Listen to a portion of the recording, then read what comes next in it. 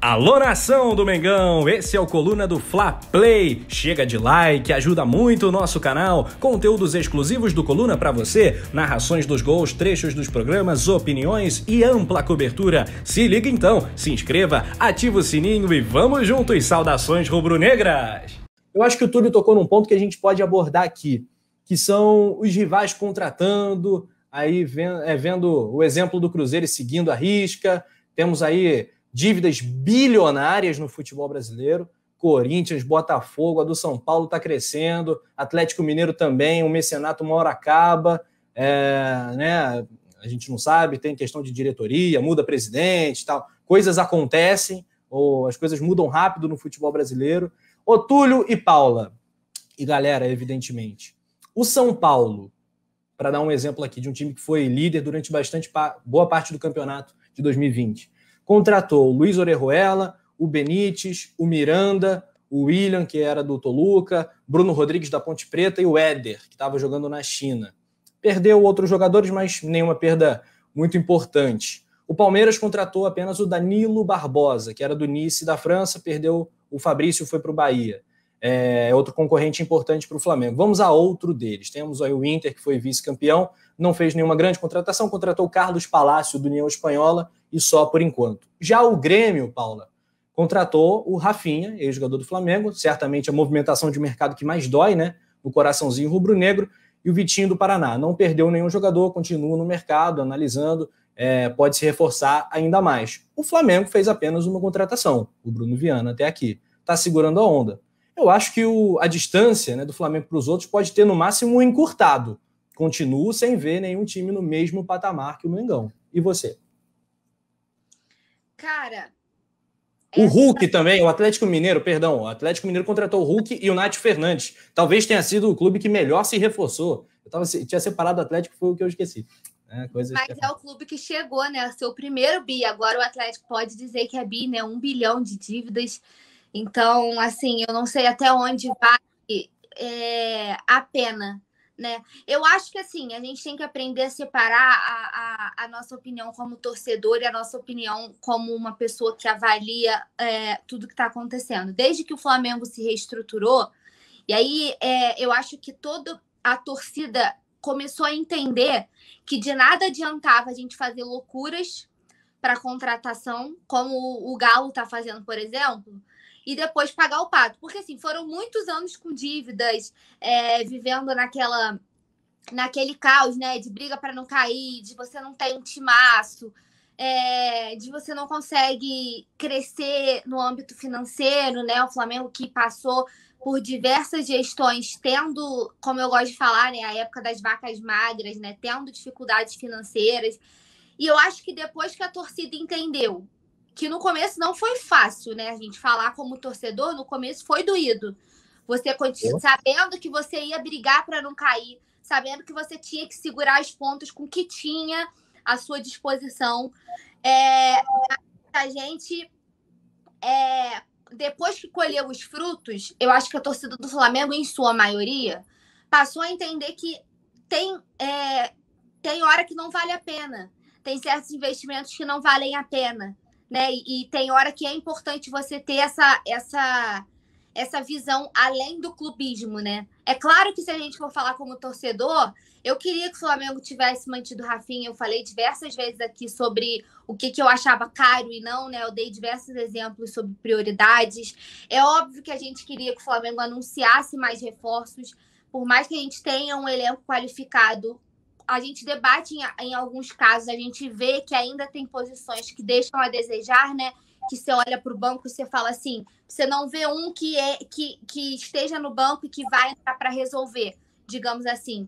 Tem posições que a gente, por mais que tenha um elenco muito qualificado, ainda poderia ser melhor, ainda deixa a desejar. Mas eu creio que a torcida, depois dessa reestruturação toda, tem entendido, em sua maioria, que tem hora que não vale é, fazer um esforço muito absurdo se você sabe que lá na frente isso pode causar um retrocesso financeiro, né? Isso eu vi muito em relação ao próprio Rafinha, que ao mesmo tempo as pessoas defendiam a contratação dele, mas levavam em consideração que o Flamengo não tinha obrigação de se apertar todo financeiramente para trazer alguém. Então eu acho que os outros clubes deveriam olhar mais e até para gerar uma competitividade maior, né? Porque chega uma hora que eu acho que fica meio cansativo você ficar batendo em cachorro morto, né? Tipo assim, você pegar os times destruídos, destroçados. E assim, é claro que a gente quer ganhar sempre, mas é muito melhor você ganhar é, de um rival que consegue bater de frente com você, que consegue te oferecer um verdadeiro espetáculo, que você ganhar batendo num cachorro morto, sabe? Igual, por exemplo, só um exemplo que eu acho que vai deixar bem claro o que eu tô querendo dizer. É, o, nosso, o nosso jogo contra o Botafogo, o Flamengo jogando com um time alternativo, né? É, ele jogando com o time titular. Eu, eu, por diversas vezes, fiquei me perguntando, cara, esse é o time titular do Botafogo? Porque, assim, eu conheço três candangos daqueles 11 que entraram em campo ali. E, assim, o, o placar foi muito mentiroso, né? O Flamengo podia ter feito um massacre no placar.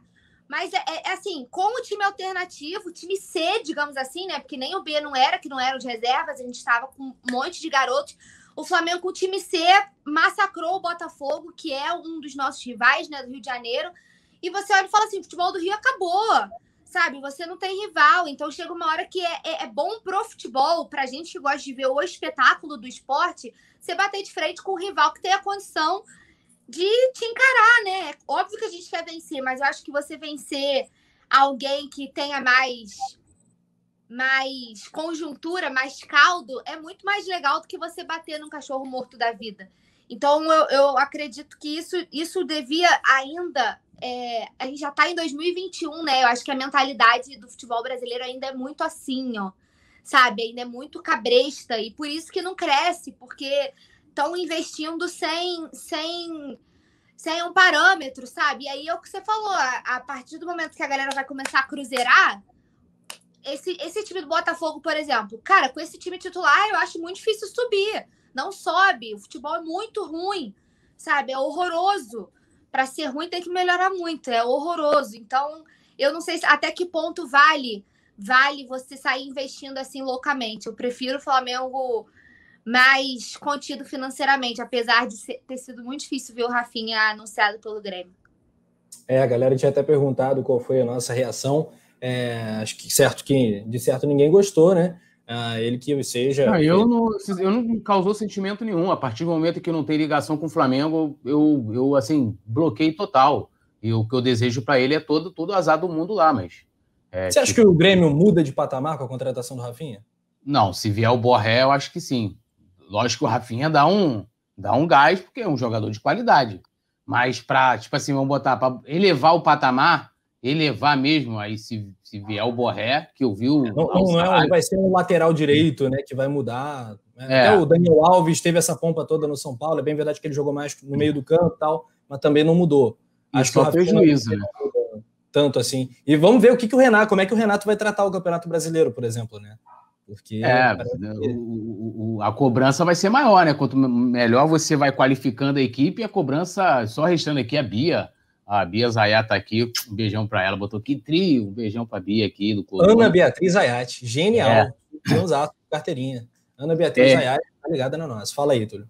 Não, e, e, então, assim, quanto mais você qualifica o time, isso foi acontecendo com o Flamengo ao longo do tempo. Ele foi se qualificando, então a cobrança foi se tornando maior. Eu acho que a, a, a grande questão que aconteceu com o Flamengo, de certa forma, foi bom é, eu acho que no início, por exemplo, se a gente for olhar a primeira gestão do Bandeira de Melo, não havia promessas de títulos, de times estrelados, era uma coisa de tipo, ó, a gente vai passar uns anos aí de dificuldade, é, pé no chão, e, e, veio a Copa do Brasil, né?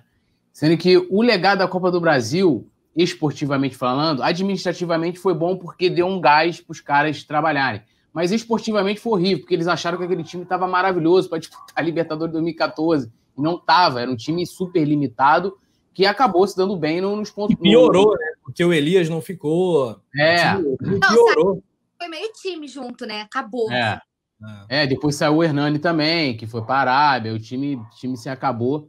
Então, assim, é, isso foi bom, né? De certa forma. E depois os grandes títulos só vieram com essa, com a gestão do Landim, que já, que, que já é, vamos dizer assim, uma, um, um caminho do processo de colheita, né? porque o Flamengo é, já tinha começado a fazer investimentos, aí a gente pode aqui questionar a contratação. Ah, porque a contratação de fulano foi boa, mas foi feito o investimento. Nem o Real Madrid, nem o Barcelona, quando contrata. É, o Barcelona contratou aquele Coutinho, todo pô, Coutinho, não sei o quê. Pô, o Coutinho não jogou nada no Barcelona. Né? Então, assim, todos os times têm isso. Às vezes você contrata um jogador que ele não dá certo. E aí pode ser por N motivos, e aí é um, é um debate. Mas o Flamengo, a partir de 2015, que fez, trouxe o Guerreiro, que representa o marco ali.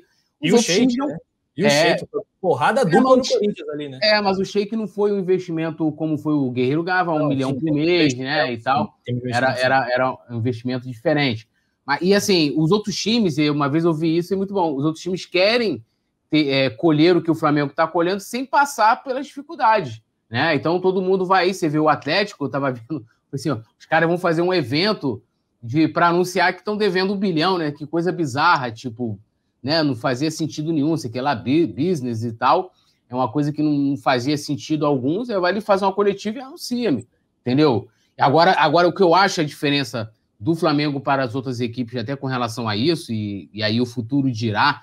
Por exemplo, São Paulo já deve, já não sei, mais de 10 milhões ao Daniel Alves. Vai dizer, ah, não, vamos aqui encontrar um investidor que o patrocina. Isso tudo é história, meu irmão. Outro, ou você tem dinheiro ou não tem dinheiro. Camisa não, não tem esse negócio de paga craque. Não paga, é caô, entendeu? Tipo, pô, eu lembro que acho que o, o, ano que foi sensação o lance de camisa foi 2009, quando entrou Olímpicos. Um milhão de camisas em seis meses. Tirando dali, eu nunca vi. É, mesmo campeão da Libertadores, e, e, e, não sei se o Flamengo passou de um milhão de camisas, acho que não, pode ter vendido. 2009, vamos combinar, uma das coisas mais lindas que o Flamengo já fez, né? Aquela camisa é uma preciosidade. Sim, é bonita a camisa. E, e, assim, então ali, pô, vendeu um milhão. E o time não estava ganhando nada, né? Ganhou depois. Né? Ganhou o Hexa no final do ano. Então, assim. Sabe o que eu acho, Túlio? Eu acho que eles têm medo porque o Flamengo passou a ser competitivo em três anos de reestruturação. Em 2016, o Flamengo tinha time para ganhar o brasileiro e disputou em alto nível. É, mas o time não, era muito A estrada é muito mais longa pelo potencial de receita que o Flamengo tem.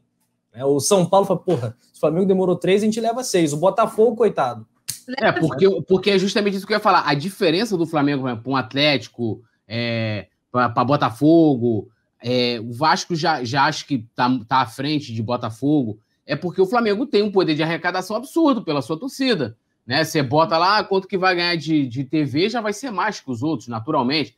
Por mais que eles façam divisões, ah, por assinatura. Você vai ter umas assinaturas de rubro-negros, é maioria em tudo quanto é lugar. Né? Aí você pega Botafogo, você pega Atlético, o São Paulo já tem uma grande torcida, então a facilidade de você recuperar, sendo que é, é, é muito maior do que Botafogo, o Vasco já é muito maior.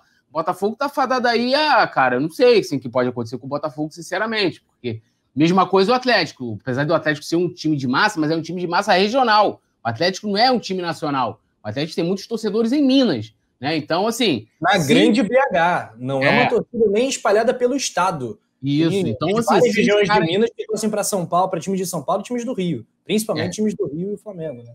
É, e se os caras, então, assim, não conseguirem aí alcançar objetivos para ter muita grana de premiação, não saber gerir todo esse elenco, todo esse gasto que eles estão tendo, a, pro, a, a, probabilidade é, meu irmão, é a vaca ir pro brejo. terminando, por incrível que pareça, as duas equipes consideradas com as melhores administrações do futebol brasileiro seguraram. O Borré estava fechado com o Palmeiras, fechado. Era só assinar o contrato. O Palmeiras voltou atrás por causa da questão da pandemia, das questões financeiras. O Flamengo abriu mão do Rafinha, um cara que já tinha uma, uma, uma, uma puta história aqui, ganhou tudo, quase tudo aqui no Flamengo, por, também por, considerando a questão financeira. E os outros times que não, que não têm uma gestão nem de perto, nem de Flamengo, nem de Palmeiras, estão aí gastando adoidado.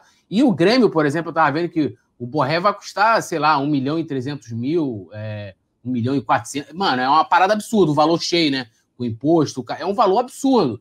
Como que vão pagar? E ninguém questiona. Eu não vejo questionamento sobre o Atlético, não vejo programas dedicados a isso. Como que o Atlético vai pagar? Eu lembro que no Flamengo de onde vem o dinheiro do Flamengo, né? A gente vê também a diferença até nisso, né? Mas ainda bem que o Flamengo fez da forma correta. Eu espero que siga assim. Espero que siga assim.